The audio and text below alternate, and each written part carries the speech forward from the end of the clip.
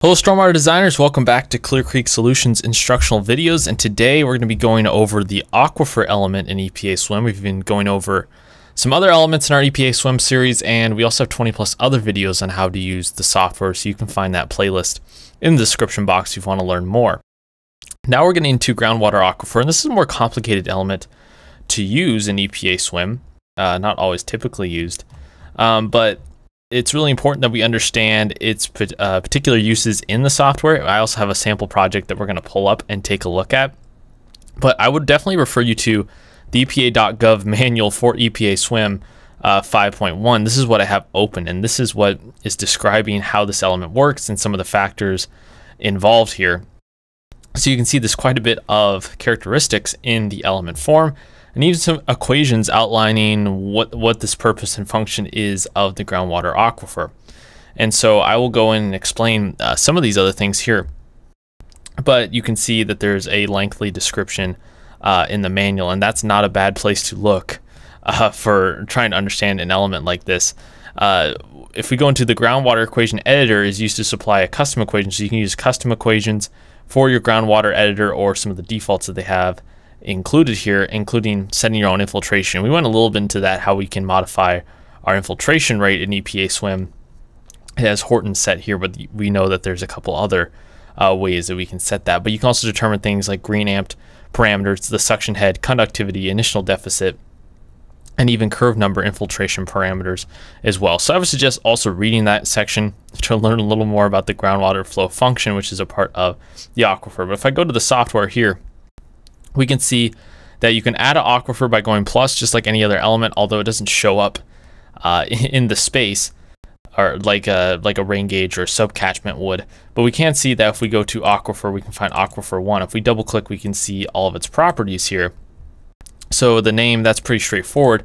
Uh, porosity is just our standard porosity, right? Volume of voids to total volume of solids. And there is a wilting point, which is the residual moisture content of a completely dry soil. It's a fraction, obviously, same thing with the soil moisture content. Uh, after all free water has drained, then there's a conductivity, which is a saturated hydraulic conductivity, the slope of the log conductivity, and then tension slope. So you can see there's a lot of different factors here.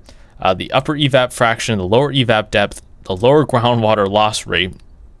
And so you can see there's a lot of ways that we could potentially make this groundwater well work or this aquifer work or uh, we could definitely mess it up with the element form if we're not careful. So keep in mind that you have measured or have accurate data for all of these different uh, parameters here when you're entering it into the aquifer editor because that'll greatly impact how it runs and how it influences uh, the, your final results in the software here. So you can see there's no upper evap pattern, which is the monthly pattern of adjustments to upper evap, evap fraction, and that is uh, optional in this case. So if I run this here, the run was successful.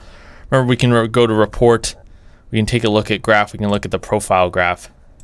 Um, you can see there's no nodes here, however, in uh, this specific uh, model here. But we can look at subcatchments. We can look at the nodes. We can look at the systems. But uh, what I want to emphasize is that you need to make sure you set up your groundwater aquifer properly, that you have all these different variables in mind and uh, measured properly for, for your setup. You can see here that we just have a rain gauge. It's going to the subcatchment in which the aquifer uh, has been attached and is going to be able to measure uh, that groundwater movement uh, in EPA SWMM. I wouldn't say hydrology is one of the strengths of EPA SWMM. Um, it is better for measuring hydraulic functions and pipe systems and things like that, but there are some uh, hydrology that it can perform in the software, although not to the best degree. So that is one of the other hydrology elements, like I said, is the aquifer. Some of these other ones are a little more peripheral and don't have as much impact to the software, but then we're going to go into hydraulics elements. So that's a quick overview of the groundwater aquifer. If you have any questions, you can leave it in a comment down below. Definitely one of the more complicated elements. Like I said, I would just highly recommend going straight to the source and reading this section on the groundwater flow editor. If I search here, you can see that you can also find other sections on the aquifer if we just if we just do a con uh, straight control F search here.